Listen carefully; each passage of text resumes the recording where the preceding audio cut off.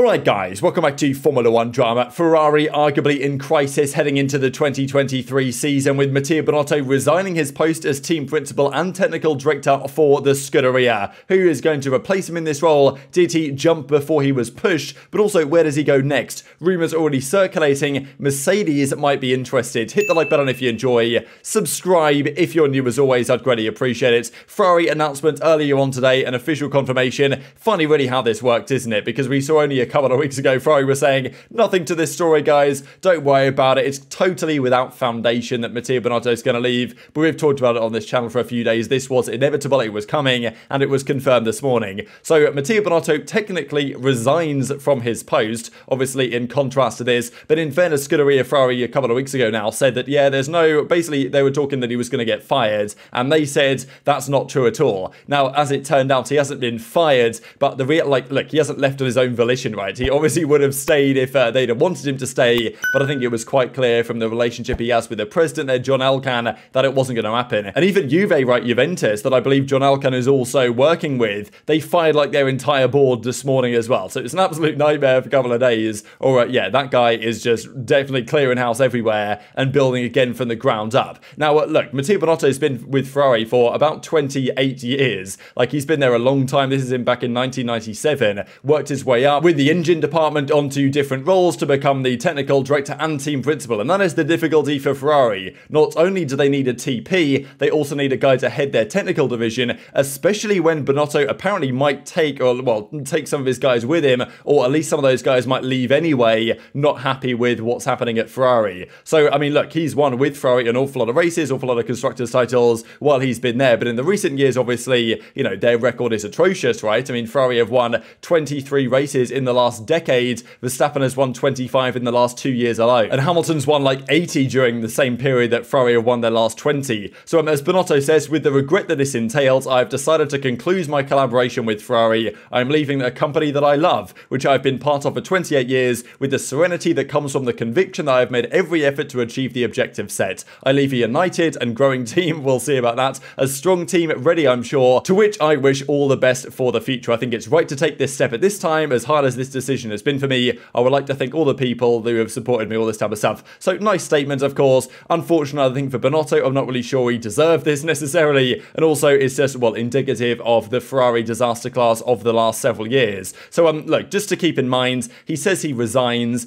The reality is that they were going to get rid of him, and, um, you know, he's just jumped before he was pushed. There's no way that he's actually got of his own decision, basically, here, because he's leaving Ferrari, right? And that's what this implies. He doesn't, like, imply here that he's going back to a technical position, going back to just being the technical director and bringing a new TP, like like Fred Vasseur, for example. Not doing that. He's gone. He's out of Ferrari. I think maybe he made that point when he became TP. They're like, look, I'm not going to go back. I'm not going to get humiliated or demoted. If you want to get rid of me, I'm going to be gone. And that is um, exactly what is happening now. These are the last several years as well for Ferrari. Think about it, right? In the last eight years, what's happened at Mercedes? What's happened at even Red Bull, right? Christian Horner's been the main man. Toto Wolff's been the main man at um, Mercedes during all that dominant periods. They had eight constructors titles in a row. Ferrari do this every few years and arguably completely throws off any momentum they have. And this is arguably one of the worst times to get rid of Binotto because, like, you're going into an incredibly important development phase in the next couple of months, going into 2023, where they were competitive this past season. They would hope to challenge again, uh, obviously, a renewed Mercedes threat, and Red Bull will be the favourites for sure next season. And you're losing an awful lot of talent and experience around the team, and you've got to replace that within the coming weeks. So he is going to leave his role on the 31st of December. He's still going to be there for the next few weeks, but or for the next month, really. But um, you know, still, how convinced is he going to be? You would IQ, given that he's not going to be with the team any longer. So the question then becomes, who is going to replace Binotto at Ferrari? We talked yesterday about these crazy rumours of then talking to Christian Horner. Apparently, they didn't reach out to Christian Horner in the last week or so, which obviously would have been outrageous. But even this, I thought was pretty outrageous. Supposedly, they reached out to Seidl and and Horner. Seidl is of course the TP over at, uh, at McLaren, Horner at Bull. They reached out to them last year, rejected Ferrari's advances, understandably because, as we shall describe here, it's a bit of a poisoned chalice. You can't really like you can't do anything right. It seems as Ferrari TP, you're just doomed to get sacked at some point in the future. Even if, as Mattia Binotto has done, succeeded arguably compared to some expectations this season,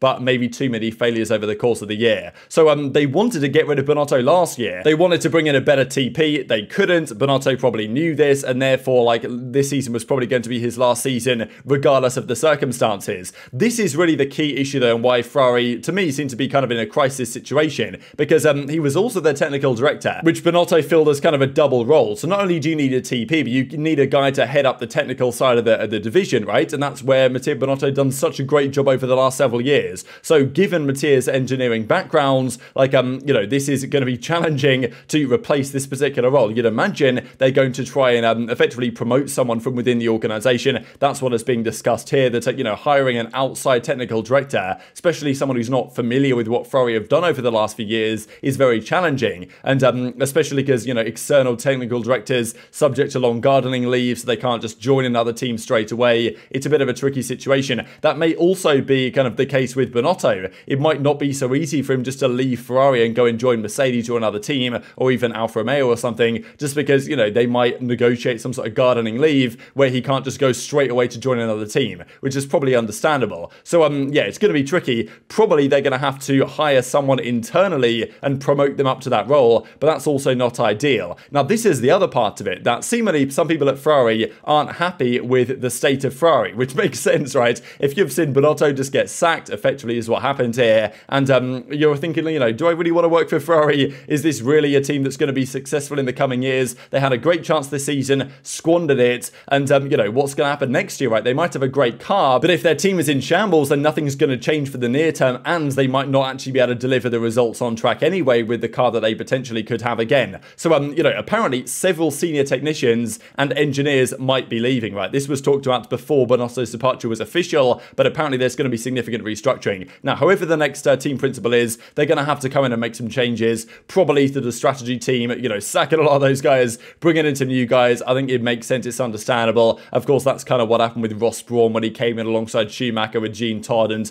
these guys several years ago now at Ferrari. And uh, they probably need a similar thing to happen again. But if they're going to lose several senior technicians and engineers, then, like, um, you know, this is not the time to be losing several senior technicians and engineers when you need all the power you can get over the winter break to prepare things for the upcoming season. So, not a good look for Ferrari, and Binotto, of course, now has been sacked. So, you would imagine that certain individuals might well either get forced out or will be deciding to leave over the coming weeks. Now, um, that's the thing for the replacement for Binotto. Replacing Binotto is going to be a big challenge in the shorter term, as is described here by, you know, Jon Noble. That given Binotto's experience and kind of, you know, history with the team over the last several years and even last couple of decades, his, you know, comprehension with the car, the engine design, the direction they're taking, like um, just the concepts, the motivations of the team, especially with a renewed Mercedes threat at the end of this season, probably going into next season as well, and trying to get back on level pegging with Red Bull. Like, um, you know, this is a bit of a disaster, right? Because Binotto understands that better than anyone, and any new team boss coming in will have to catch up on an awful lot in a very short period of time. That is um, far from ideal, and even Jon Noble reckons, you know what, by the time the new technical director gets up to speed and the new team principal, the fight for next season's championship might already be over. So they might just be like not writing off next year's championship, but if next year's championship doesn't go well, they have a rather good excuse, let's say. But um, you know, will a driver like Charles Leclerc be accepting of any more excuses? I wonder. So is Fred Vasseur going to be the man? Apparently they are negotiating with Fred Vasseur, and it probably is going to happen. Now he needs the approval of his team. That probably should be okay. Alfa Romeo, or even you know, they're supplied by Ferrari with their engines and stuff, regardless. So probably he's going to be the man topping the list. And Ross Brawn has basically said that he's not doing this again, and I don't blame him to be honest. But they would still need another technical director, right, alongside their team principal, because you know Fred Vasseur and other candidates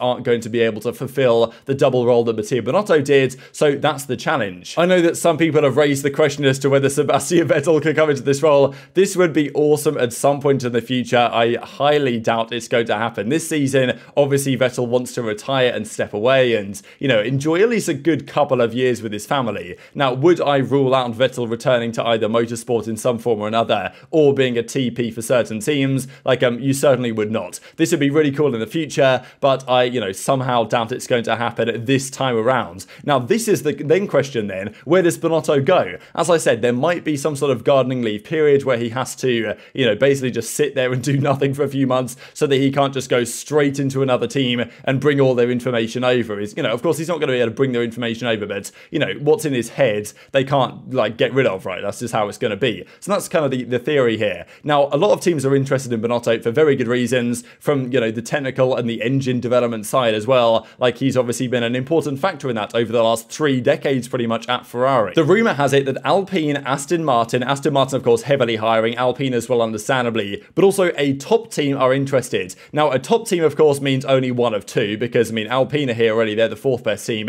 Ferrari he's leaving, so it leaves two options, Red Bull or Mercedes. Red Bull to me are an interesting one. They would be interested I'm sure in getting Binotto. They've been hiring aggressively everywhere right now. I'm pretty sure over the last few years they've literally been telling Mercedes engineers like, hey, we'll double your salary if you come work for us. And they've got a few of them and it's obviously worked out for them. Now whether they can keep doing that because salaries are included in the budget cap and only apart from the drivers, the top three salaries at an organization are excluded from the cap. So that's why all this drama from the cost cap this season about, um, you know, Adrian Newey not being an employee. They said that, oh, no, he's not an employee, he's a consultant, even though he's their CTO. But whatever. If they were to bring Binotto in for big bucks, like, um, that would be affecting their budget cap, right? That would actually be a factor. Might be for Mercedes, but maybe less so. And given the fact that Mercedes, like, arguably their engine department has been one of the, well, not exactly the weakest, right? They've had the strongest engine, most reliable for the last several years. But going into this season, outside of the Alpine Renault engine, which has obviously been weaker and, you know, is more volatile as well, Mercedes have had the weakest package from the power unit side. Now, they've made some progress towards the end of the season, but there's no doubt that the Mercedes engine, you know, that was also in the Aston Martin, the McLaren, had some of the